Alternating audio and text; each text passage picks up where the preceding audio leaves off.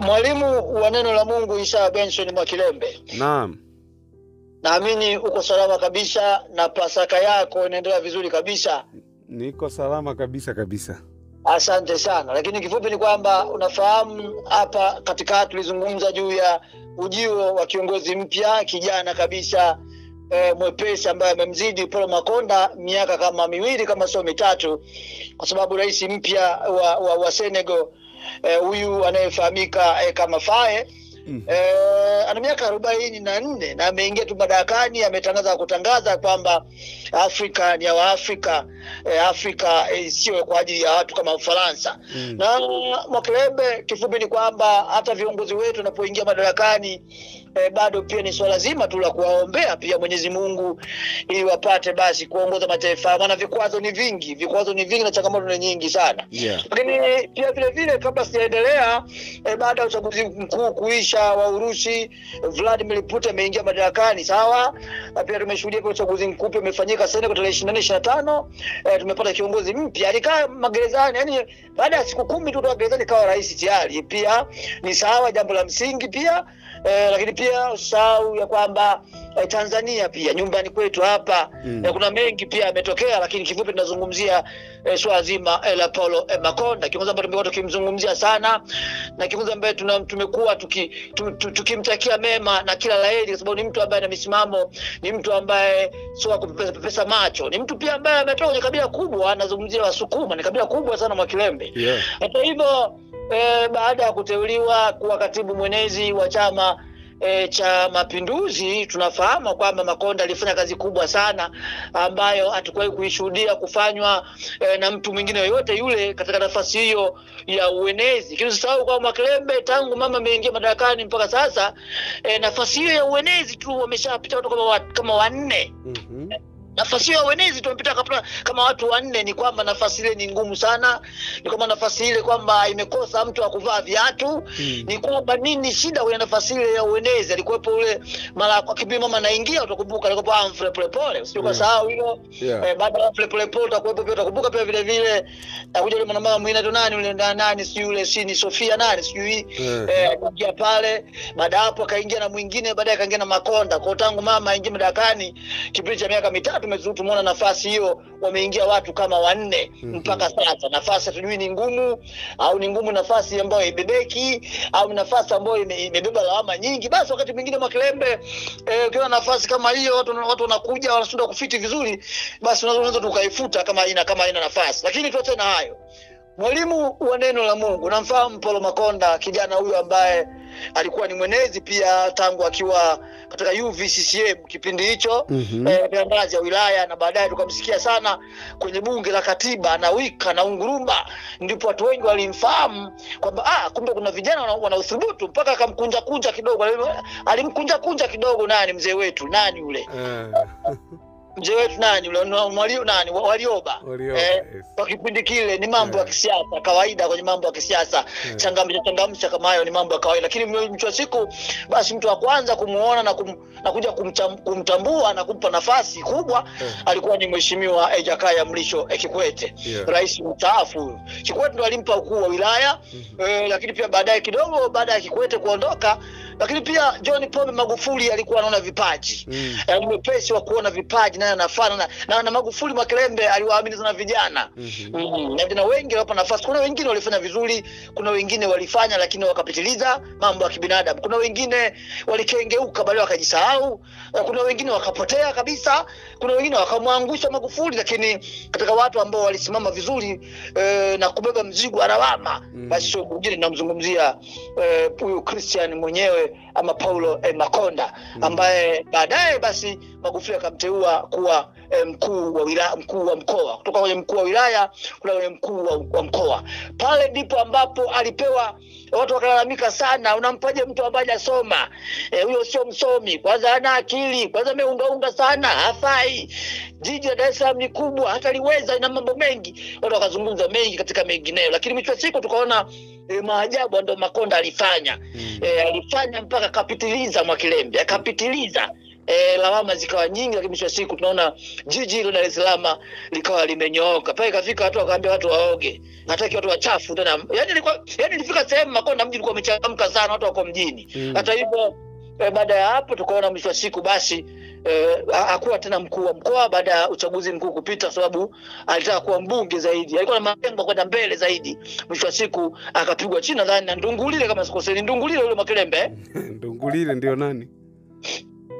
Aliyekuwa anachua na Makonda kwa ni Ndungulile anachukua nafasi yake, maana kipindi kile yeah. rais alimwambia kwamba ukiacha nafasi ya ukuu wa mkoa au ukuu wa wilaya tunagombania ubunge, ukikosa basi una chako. Eh, nakumbuka. Basi kuanzia pale Makonda tukawa tumemsahau kwa kipindi hicho, ukawa ukimya umetawala mpaka pale ambapo mama akaja kucheza tena kama Pele kwa kumpa nafasi kubwa kabisa e, nafasi kubwa kabisa kwenye ngazi ya taifa, yani kubwa, afu ni nyeti vile vile Mm. akamteua basi Makonda eh, kuwa mwenezi wa itikadi na vijana, mafunzo na taifa. Kipindi hicho tukafurahi sana na Tanzania watu wakashangaa sana, eh, imekuwaje tena? Basi Makonda pia hakutuangusha Mwakilembe, alifanya kazi kubwa sana Mm. kwenye uenezi kwa muda mfupi ambao amekuwa pale, ila sasa Mwakilembe Eh. baada ya pale Makonda ile nafasi akaanza kupigwa vita tena. Mhm. Sasa ndio sintofahamu, lakini kila akienda pale watu wanalindima, kila akienda pale watu wanalindima na watu Mm. wa kutosha wakutosha na Mungu wa mkono vijana wenzake wakutosha akatatua changamoto nyingi. Tukasikia kusikia kwamba Makonda anaingilia serikali Mm. Tukasikia kusikia kwamba e, mwanasheria mkuu akaoji pia kwamba kwa nini watu wanafuata Makonda, Mhm. kwa nini watu wasifuate e, wasifuate taratibu maalum. Tukasikia kusikia kwamba Makonda anaingilia eh, sijui anachonganisha kati anacho- ana- ana- ana- anakichonganisha chama eh, na serikali Mhm. tukasikia kusikia anavuka mipaka eh, tukasikia mambo mengi sana ama zika nyingi sana kwa- na, na mtafaruko kushindana kwa hoja kati ya Bashe waziri na Makonda, mambo kama mengi, lakini alisaidia wengi. Sasa eh, mwalimu wa neno la Mungu Mhm. kusomea kidogo jambo dogo sana hapo, tanisamee ndugu yangu eh, usije ukasema kwa nini tena nimefika huku Mm. Eh, naomba nikusomee kidogo tu mawazo kidogo tu afu ndo tutaendelea ya kile ambacho kimeandikwa na baadhi ya wachambuzi kutoka maeneo mengine wakijaribu kumzungumzia eh, Paul Makonda kwamba nini kimemponza eh, Mhm. Makonda, nini kimesababisha Makonda eh, amepigwa ametoka kule juu mpaka ameshuka nafasi ya chini kabisa. Sababu kubwa ni nini? mm-hmm. E, kwa mbali kabisa namsoma mtu wetu Pambalu, mwalimu Pambalu anayemsoma hapa Mwakilembe, sitaenda mbali sana. mm-hmm. E, Pambalu anasema kwamba tayari kimeumana Makonda e, kanyukwa demotion, japo mm. ninajiuliza mbona mheshimiwa e, rais anajisahau sana, mm-hmm. lakini pombe ameendea mbele kabisa, anasema kwamba kwenye kitabu cha Robert green kiitwacho eh, 48 Laws of Power Mhm. katika kanuni yake ya kwanza ya mamlaka anasema never outshine your master. Mwakilembe, nadhani tunazungumzia sababu, yani kwa nini Makonda sasa Mwakilembe eh? Eh. nini kimemkuta Makonda? mm. yani nini kimesababisha Makonda akaporomoka? Maana wewe ni maporomoko, Mm. sababu wewe ni maporomoko makrema toka juu mpaka chini eh? Unataka kuwa mwenyezi pa kwa mkuu wa mkoa mm. ni maporomoko makubwa makrema lazima ushangae. Sasa wengi wamemhurumia Makonda, wengine wamemlaumu mama. Eh, ni mambo ya uongozi, mama ndo anayejua zaidi, mm. ila kwa msaada wa John Pambalu, mwalimu mwenzangu huyu, kama nilivyo mimi eh, ame- amekoti amesema kwenye kitabu cha 48 Laws of Power. Mm. eh, kanuni yake ya kwanza inasema never outshine your master. Mm. usimtoe nishai bosi wako. Na bosi huwa anuniwi na bosi huwa akosolewe yao nimeongezea mimi leo nimesema kwamba usimtoe ni chai bosi wako. Daima uone, uonekane mdogo kwake. Mpe heshima na sifa zote yeye bosi kama bosi. Kwani? Swali yani unapo uh, okay, kwa mchambuzi huyo John Pambalu mm. Uh, una, yani, yani mpaka akoti hivyo, kwani Makonda alim outshine bosi wake? ah, sasa Mwakilembe sasa hilo swali ni gumu sana Ah, maana maana unajua wewe umesema umechukua uchambuzi kutoka kwa nisikilize kidogo Mwakilembe nisikilize kidogo tofauti wa Makonda na mheshimiwa rais Samia ni kwamba uh -huh. Makonda ana uwezo mkubwa sana wa siasa za hamasa kuliko mheshimiwa rais.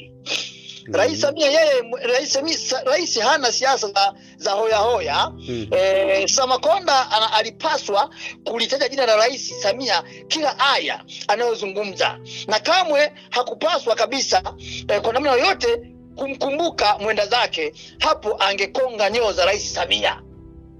Mhm. Unakumbuka juzi hapa alisema watu wasi, wasimfanishe. Amesema anashangaa sana, Mhm. anashangaa sana kuona kwamba watu wanamfananisha Rais Samia na John Pombe Magufuli. Mhm. Anashangaa sana, akasema watu hawa ni wote ni wale wale tu, kazi unaofanya Magufuli ndio kazi ambayo unaifanya Samia. Mm. Sio, umeelewa? Mhm. Sasa never outshine your master. Mm. Sio, umeelewa hapo kidogo? Kwa hiyo kwamba katika kila aya Eh. katika kila tamko Mm. akilala Makonda, akiamka, akishika maiki, akifanyaje, si uh-huh. Iwe ni Samia Samia Mm. Samia Samia, yani si yani asiwe yani, unajua Makonda alisimama kama Makonda akasahau Mm. mm?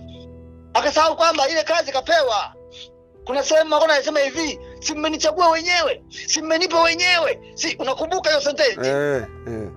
si mmenichagua wenyewe si mmenipa sasa sasa sasa never outshine your master wamekuchagua kina nani wamekuchagua mama wamekuchagua kina nani Mhm.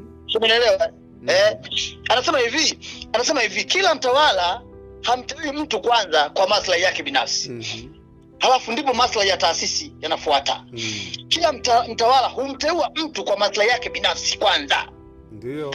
Ndipo maslahi ya taasisi yanafanya yanafuatwa mimi navyokuteua wewe makilembe mimi ndo nimekuteua wewe Ndio. usiende mbele ukajisahau kwamba eti wewe ndo kama vile umejiteua mwenyewe Eh. Si hapo mm-hmm.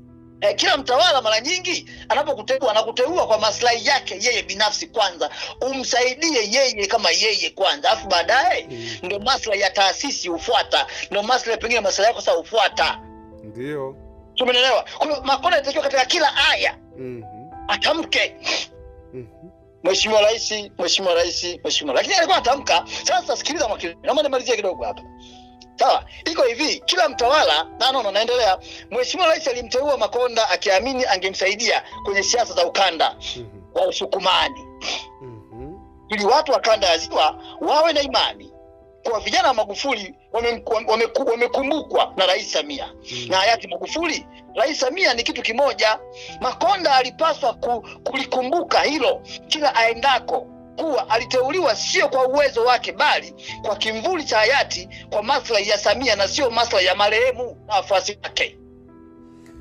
Na, na, na unajua Eh, katika hilo unaambiwa lazima uwe mtii kwa kiongozi wako na ukubali kujiweka chini yake na kufuata maagizo yake, kwa sababu mm, unapandishwa cheo na mtu unayetii maagizo yake ambaye ndio yuko zamu. Nilikuwa nakuongezea hiyo pointi tu. Kwa hiyo Mwakilembe, tunazungumzia tuna hapa tupo kwenye sehemu moja mm -hmm. ya kwamba tunazungumzia anguko la polo Makonda. mm -hmm. Umetoka kuwa mwenezi wa chama mpaka umeshuka chini kabisa mm -hmm. kuwa mkuu wa mkoa. Mm. alafu baadaye tutazungumzia tena sasa Makonda yeye nafasi ya mkuu wa mkoa nafasi yake iko wapi hapo? mm -hmm. Tunaweza tukasema kaanguka au kaporomoka, kumbe hajaanguka, kumbe hajaporomoka, kumbe anaandaliwa kwa makubwa zaidi. Yeah. Kwa Makambe, mwalimu neno la Mungu, Naam. mimi naomba niishie hapo ndugu yangu. Haya, asante sana bwana. Haya haya. Haya.